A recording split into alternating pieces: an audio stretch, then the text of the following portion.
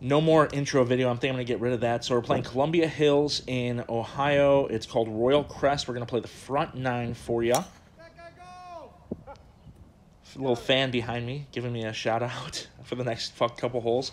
So we're working on a couple things. We're working on not coming over the top. We're working on getting the hands inside, pushing it out to the right. We're trying to get this drive straightened out a little bit. Um, also, if you guys are new, and you haven't seen the the walking nine holes, I'm to put that one at the end of this one, and I'm to put it, a link in the description box below. You guys absolutely crush that video. We're over like 30,000 already, so you guys are killing it. Um, and if you're, again, I know there's a lot of new people here. If you don't follow me on Instagram, go to Instagram at the Fat Guy Golf. That's me. You get a lot more stuff on there. Uh, I try to post every other day on there at least. Um, oh, look, we missed a putt. Shocking. All right, hole number two. We're already two over. Hot start to the day, guys. Yep. There she goes. Blue. All right, drop two, hitting three. I could have moved up, what, 30 yards, but I felt like I already had a feel for it, and I like hitting my three wood. So I just hit the three wood again and just made sure I focused on getting my hands inside and not smoking over the top on it. So, you know, it's not a bad shot. We're 20 yards short or so. I got to hit a pitch up to run it here. But I'm putting because I'm scared of pitching after the last one that I popped up and left short of the green. So I putt this. And that's all right. Now we just got to make a putt.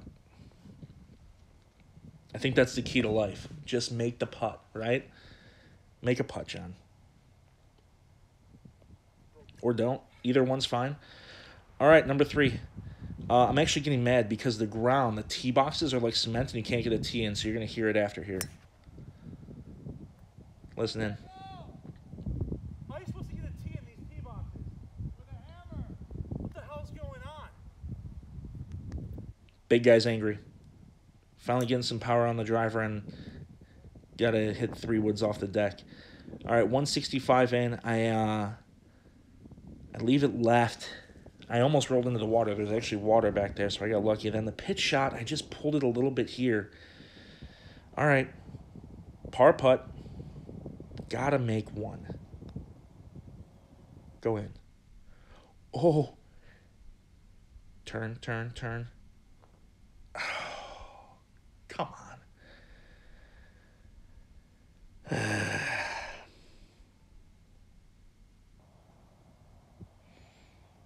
So mad. I mean, you can't expect to make those, but still, you got to make one. This theory that the pin actually helps it go in, I'm not buying it anymore. All right. Watch here. As this is me, this is me dying as I'm trying to put the tee in the tee box. It's a 544 yard par five. And I'm so I'm like, let's use the driver. Let's tap that in. That doesn't work. Let's use the ball. Let's tap that in. That doesn't work. Got to mute the sound here in a second because I'm going to get real mad and drop some F-bombs. here it comes. And then I get more mad. So we're hitting a three wood off the deck on a 544 yard par three, par five. Come across a little bit, leave the face open, get that side spin to the right. Now I'm in a little bit of a peculiar situation. I can't get the camera behind me, obviously, so you guys aren't going to see this.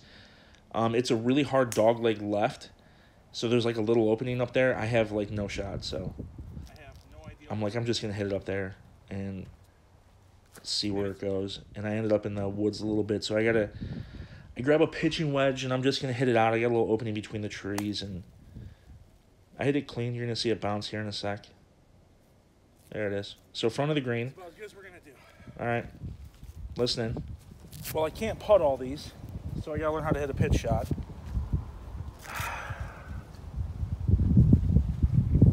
Not confident. Gotta learn how to hit these pitch shots. Gotta trust the shoulders. That one's okay. Didn't land it exactly where I wanted to. Sometimes I hit. but you know we end up being a little bit short but again it's a long you know what is it 10 15 feet for par so we gave ourselves a shot at it. Now we just got to make the putt. So I, I'm doing a lot of maintenance around the greens here. They don't got a guy out there with a leaf blower helping us out. So Make one. roll one of these in, big guy. Come on.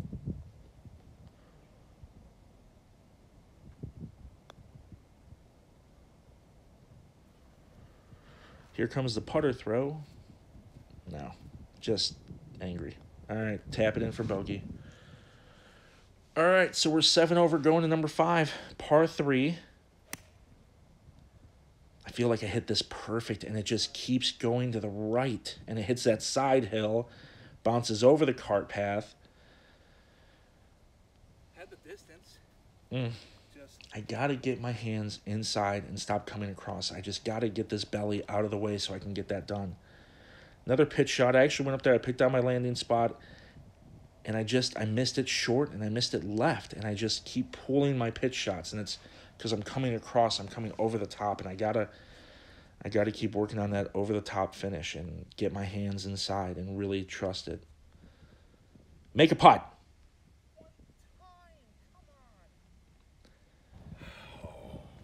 these has to fall. They gotta fall. They gotta fall. All right, long par four for me. Generally, this would be unreachable in two for me, but not this year. Big guy has been pressing a little bit. 241, hitting it like a big boy. All right, so we only got 174 in. We grab a five wood, and I actually hit the ball straight, so that doesn't happen. The wind's blowing right to left. I've hit everything with a little bit of a hook draw. And that one that one was straight as an arrow. So how dare I hit the ball straight? So then we get another pitch shot. I try to take my time. I go up there. I pick out my landing spot, and now because I've been I came across the last one, I leave this one out to the right. sprinkler head, okay. I don't know the rule on that. I'm starting to feel that just in my shoulders and not in my hands and trusting the shoulders to do it. So I don't technically, let me see. That's where my ball ended up. So I'm not technically aware of the rule when there's a sprinkler head in your putting line. If you guys want to let me know in the comments below, go for it. I'm going to move it a foot to the right. And I actually missed the film on the putt there. So I missed the putt, of course. I think I lipped that one out too. So now we're nine over. But again, another big drive from me. Now we got 126 in on the next shot. This is normally a seven iron. Last year, this is a seven iron. But everything's going a little farther, so I grab an eight. Better ball flight. Get sticky. Oh, hello. That's nice.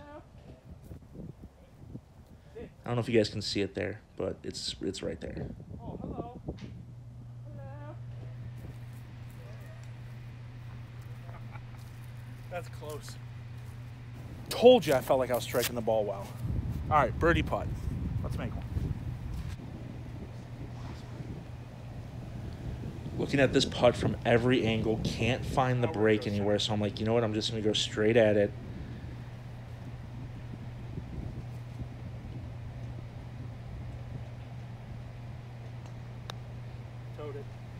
And he hits it off the toe. He's so worried about the line, he doesn't put he doesn't focus on the ball strike and hitting a clean putt. Oh my god, make a putt. What am I doing? I hate myself so All right. Stupid. Bad ball strike there. Just hit a clean putt. Number eight. Oh, if I've ever played this course before, I would know that there's water over there. But I had no idea. So, right over that hill, there's a gully. That's the that's actually the water I hit to, hit into on hole number two. So that's where it wraps back around.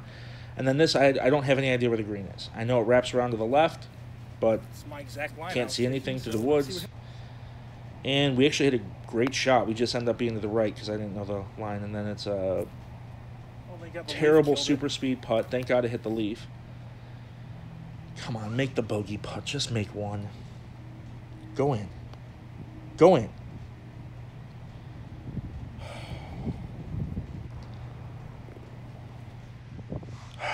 All right, last hole, 11 over. Things have fallen apart. I did better walking when it was soaking wet and I could barely breathe. So, goes the show. And then the next shot is why we play golf. They're a lot of fun. Uh, I love hitting these. If you guys know me at all, you know I love hitting big draws around trees. And a lot of you guys say, just hit the ball straight. Don't focus on what you can't do, and blah, blah, blah. And so I hit it, and I'm scared I'm going to hit the tree. So I'm just like, and the ball's white, so I can't see it. So I have no idea where the ball is at this point. But it's right in front of the green. Yeah, it's right in front of the green. I hit a great shot. That's why you play the game right there. Because when you hit great shots like that, it just, it's fun. Made a mistake here. Made a mental error. I did not walk up to the green and either clean it, get the like twigs off, and I did not see how far I had to land it. Uh oh, I might have messed up here and zoomed in when I should not have. That's all right. You guys will see the end of the putt, I think. Ah. Yeah, my bad. All right. 13, 12 over, whatever wow. it is. That didn't go well.